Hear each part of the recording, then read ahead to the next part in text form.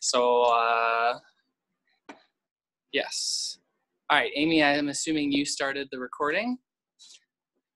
All right, so I'll go ahead and introduce myself. So my name is Ben Cromey. I'm in the fifth year of my PhD here at the College of Optical Sciences, and uh, this is a virtual tour of my lab. Normally, you could just go to room 662 in the Meinel building and you would see it, but uh, since we're in the situation we are, we're going to try out this digital lab tour. So my lab works with an instrument called a multi-photon microscope. And a multi-photon microscope is a special type of microscope that is pretty neat. So when most of the time we think about microscopes, um, we're usually thinking about instruments like these. This is a light microscope from Zeiss. There's a bright light bulb in the back that uh, is going to shine white light onto the sample. And were you here, you could look through the microscope objective and you would uh, see the sample in focus underneath it. Now these microscopes are used all over the place and they've been used for hundreds of years. But uh, the thing that our microscope can do that this one can't ben, is, yes. How much would a microscope like that Zeiss one cost someone? Uh, that's a good question. This Zeiss isn't too fancy, so this one is probably maybe fifty or sixty thousand. So still expensive, but not uh, not what most research instruments would cost these days. All right, let me just log into my computer here.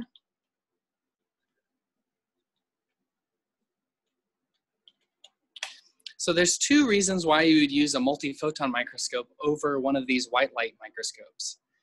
One of them is that we can see things without having to apply any stain to a sample. So what I mean by that, so these pictures, this picture up here is what is typically used in medicine. Usually when you get tissue from a sample, like uh, this, for example, is a mouse's pancreas, and we are trying to see whether or not this tissue is cancerous. Usually what they do is they take this tissue, they cut it into thin slices, and they apply a chemical stain to it in order to give it this pinkish color. So this stain is called H&E. It's used pretty frequently to be able to tell uh, the structure of tissue. However, that process of cutting thin slices and staining it takes time. And when you're trying to tell whether or not something is cancerous very quickly, uh, time, like during the surgical removal, time is against you. So instead, you can, these four pictures are all from my microscope. And these are four different ways of gathering information from a sample without using stains.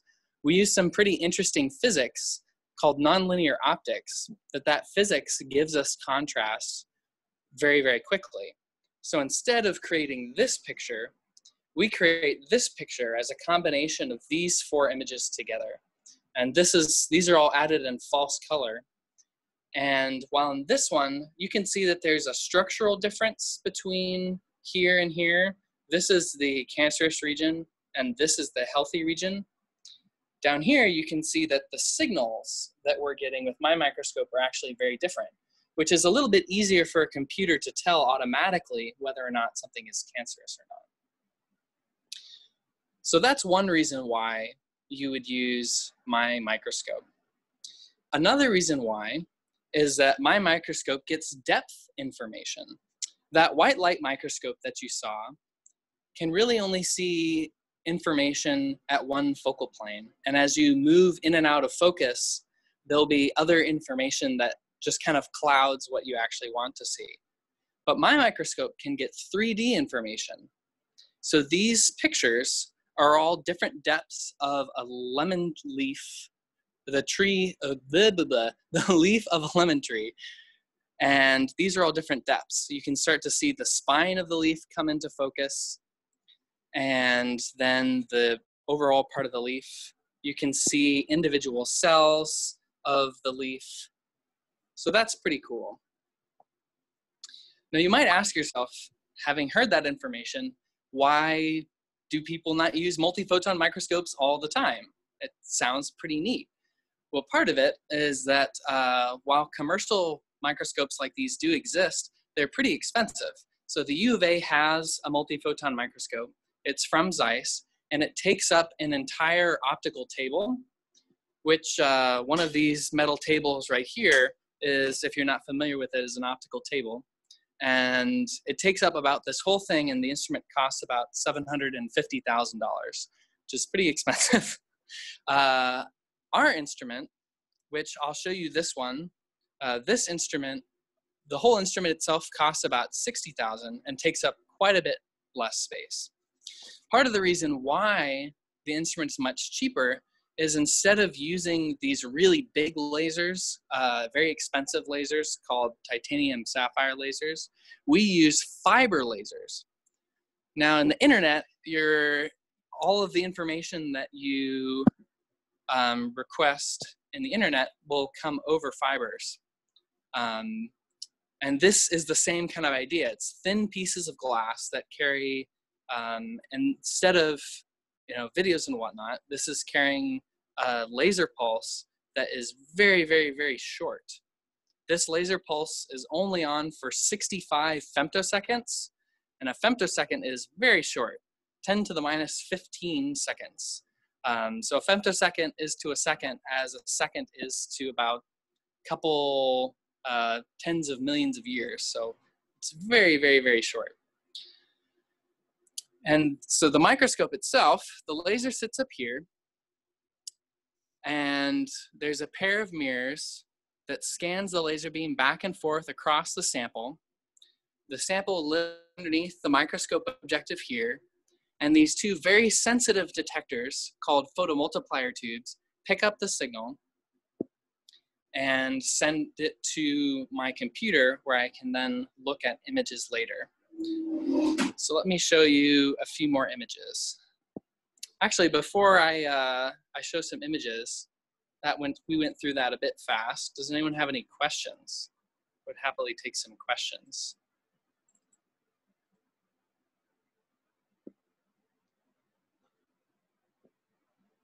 All right. Sorry, I was a little late, but how did you get it to be 60,000 instead of the $750,000 value that you'd mentioned earlier?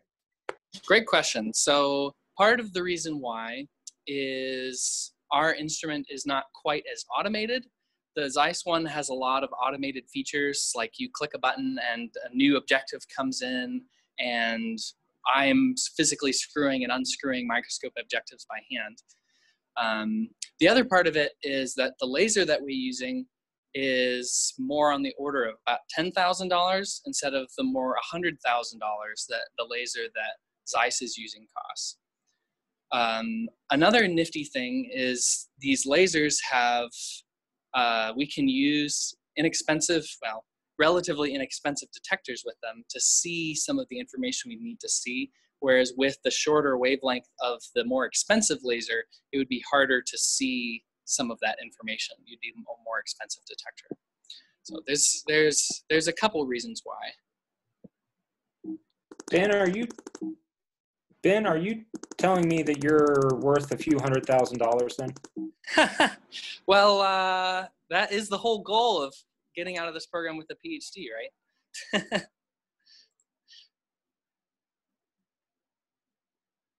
Any other questions? You have a question from Amy. What's your favorite part of being in the lab? Ah, yes. Uh, one of the things that I really like about being in this lab is uh, we really get to do a lot of different things. So the laser that I showed you and the microscope are things that we designed and built in the lab ourselves. So we get to build the lasers, use them in the microscope, and then use them in the applications like that pancreatic cancer research. I've gotten to do a couple different projects on pancreatic cancer research, which it's really amazing to get to make all of this cool technology and at the same time see the applications.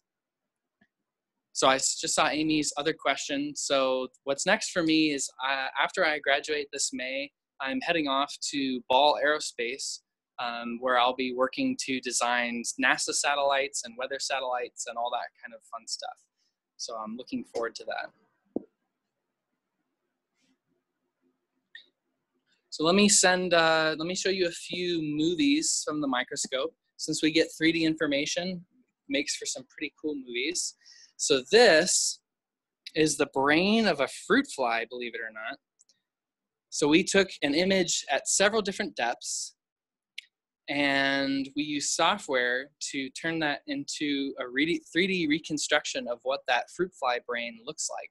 You can see it kind of rotating around. Doesn't look very much like our brains, bit, uh, bit on the strange side to be sure.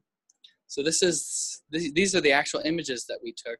Each picture that, each frame that you're seeing is a different depth of focus, giving us that 3D information that I mentioned. Uh, this is a mosquito, a whole mosquito. This took quite a while to make. The green color that you're seeing is showing the exoskeleton of the mosquito, and the red color is showing more of the muscles of the mosquito. That green stripe in the background is the uh, cover slip that the mosquito was squashed underneath. We don't just look at biological stuff. Um, we've also looked at uh, gems and minerals, where this movie is looking inside of a gem called orange calcite. And the different colors that you're seeing are two different signals that tell us uh, different uh, information about the sample. It's uh, this gem and mineral stuff is pretty neat because we were the first lab to try doing it. And we're working with the U of A Geosciences department right now to understand more about the information that we see. So these are the brain cells. These are neurons from a mouse's brain another 3D construction.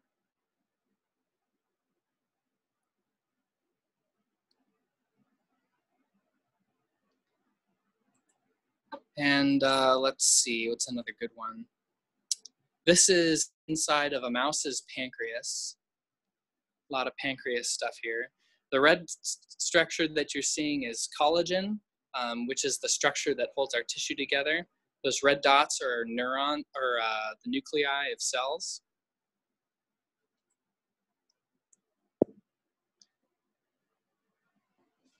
So yeah, we uh, we do some pretty cool stuff in here. Uh, the College of Optical Sciences is a great place to be a student, and I really enjoy it. And I've enjoyed my time being here.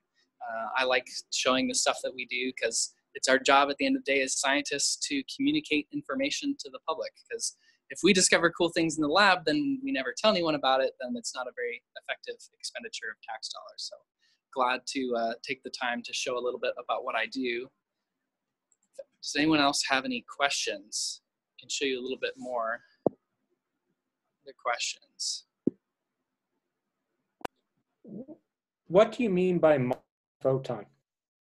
Ah, that is a great question, John. so um, a photon, if you're not familiar, is if you know what an electron is, it's it's a similar idea. Instead of uh, the smallest unit of charge, a photon is kind of the smallest portion of light that you can use for a particular wavelength. And these lasers are shooting bursts of lots and lots of photons, or these little packets of light down at the sample. We call it multiphoton because uh, we rely on the interactions of multiple photons with each sample. For example, something pretty neat that we can do is called third harmonic generation. And harmonic, it's just like a harmonic in the sense of music. You have a fundamental wavelength or tone that you would hear with your ear, and then you had have a harmonic of that, which would be a higher pitched tone.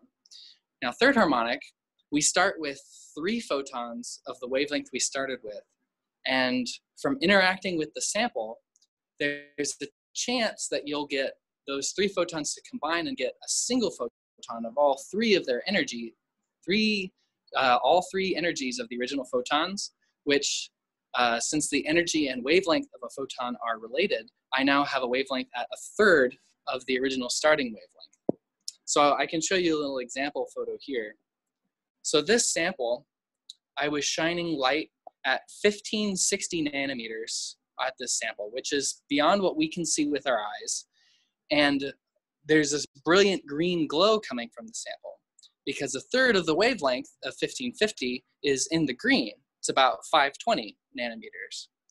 And on this particular sample, there was so much third harmonic that you could see it with your eye. There is no green light coming from the laser. But through this nonlinear optics physics, there's a brilliant green coming from the sample. Now, usually the sample isn't quite that bright. That's the reason why we have to use those high sensitivity detectors and the reason why my microscope lives inside of a black box. Usually there's doors in front of this so I can close it because the room lights are much brighter than the sample light. So I have to make sure I don't wash out all of the signal from the sample. But uh, yeah, the multiphoton part is the tricky part of understanding my microscope because you have to. I took the course that helped me understood understand it my third year as a PhD student, so it's not uh, trivial stuff.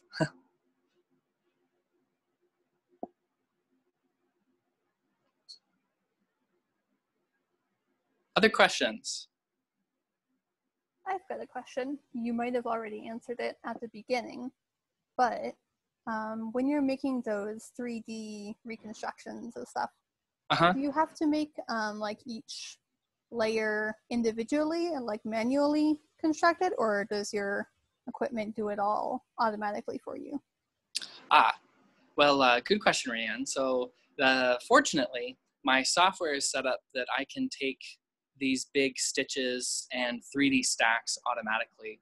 So all I have to do is tell it how far apart I want each picture to be, um, what field of view I want, how many pixels I want, all that kind of thing. So if we do really large stitched images, which I can show you, uh, it's the same idea with these large stitched images. So this is the brain of a mouse. And you can see there's kind of individual pictures that were taken and all stitched together to give us this much larger perspective of the mouse brain. It's the same thing. My software will do the effort of moving the microscope, taking a new picture, saving it, moving the microscope, taking a new picture, and saving it, which is good because some of these pictures, like this one, which is the a computer chip all stitched together, uh, this is nearly 5,000 pictures because the sample was so large, and that would have been a real pain if I had to do that by hand. See, what's another few cool pictures? This is uh, this is a human ovary. The red color is showing um, something called second harmonic that uh, is showing some of that collagen again. And you can see kind of individual red blood cells left over that are dead at this point, but inside of these veins, these green dots Other questions? So you mentioned earlier when you had the pancreas and how you had your Mhm. stain versus yours. So because you think it's easier to tell, at least like from the computer standpoint, which is cancerous and non-cancerous, Uh-huh. have you thought about developing a program or software that automatically would read it and like ding at you if it saw something that was potentially cancerous? Yeah, so there have been a lot of uh, similar research projects that I've seen that have done something very similar to that. So we're the good and bad things about medicine is that medicine is slow, which is really bad right now, of course. Uh, but um, medicine is slow, which is good in the sense that you have to be methodical before you do something uh, really crazy. You know, prevent someone from doing something foolish. But the downside is that if you've got something neat like this that you think can help a disease is pancreatic cancer, which is the worst survival rate in cancer currently, um, it, it takes a while. So we started working with cell models. We're just now, that picture that you saw as part of a paper that's going to be published this month um, on working with the mouse model. And then, yeah, we'll move to doing more automatic stuff and then move to doing human tissue eventually. Great question.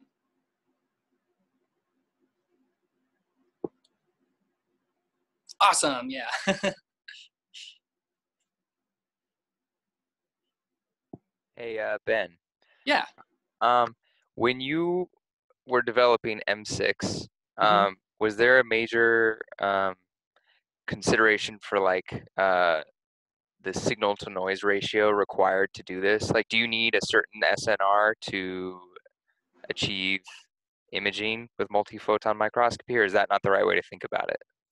Well, it, it is an interesting question. Um, these processes are called nonlinear optics because the signal generated depends nonlinearly on the laser power. So a small increase in laser power could increase the signal that I'm seeing by a cube. So yeah, a lot of the uh, a lot of the signal to noise stuff ends up being somewhat more of a laser question than the microscope question. Um, so I do certainly think about uh, one of the advantages of the all reflective microscope that you're referencing is that because it's mirror based, I have really high throughput. So the amount of laser power that I'm getting in to a sample is much higher than traditional microscopes. Most of the microscopes that you would get um, from these large microscope manufacturers like Zeiss and Leica for, say, a confocal microscope, which also gives you some 3D information. Most of those microscopes only have 10%, 20% throughput. So the amount of laser power that you're getting in is much less by the time you get down to the sample compared to our microscopes, which are more like 60 to 70%. So we do think about those kind of things. Um, John would probably be disappointed to hear that I didn't do a extremely thorough radiometric calculation on M6, but uh, that's probably okay. I'll live. Thank you. Ben, I, I posted a Yeah. question. How long does it take to stitch together the images, especially with the? Uh, yeah, good, great question. So some of these can be pretty long. Uh, our microscope isn't particularly optimized for speed because it is lower cost. For example, so this picture, this is a 3D stack from an amethyst sample. And you can see that we did a 3D stack that was two millimeters deep, which is quite deep. Uh, that took about two hours to do because we were taking a picture every micron. So that's, uh, I lost my camera there for a second. So that's 2,000 pictures in about two hours. So that's that's probably about typical. So each picture is a couple seconds. It depends a lot on the resolution that I'm using. Um, if I do a much coarser sampling instead of doing every micron, if I do every five microns or every 10 microns, it'll go much faster, of course. When I'm working with live tissue, live tissue, I can't really afford to be as uh, as uh, slow with my stitching. It's gonna dry out. Anyone else?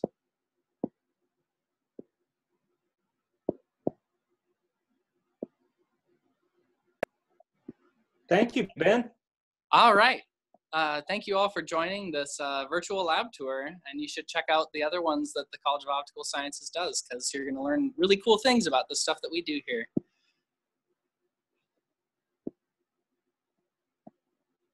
All right. Thanks for joining. Bye, everybody. everyone.